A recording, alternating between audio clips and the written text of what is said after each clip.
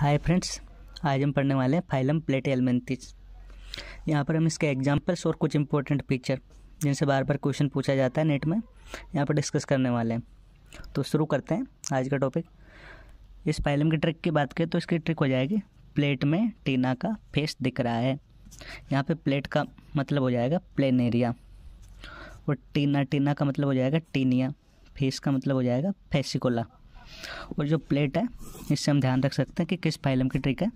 तो प्लेट से प्लेट एलमेंथिज याद रहेगा। ये तो हो गया इसका एग्ज़ाम्पल और इसके कुछ इंपॉर्टेंट फीचर भी उनकी बात करते हैं। एक तो इसका अदर नेम इसको प्लेटफॉर्म से भी बुलाते हैं।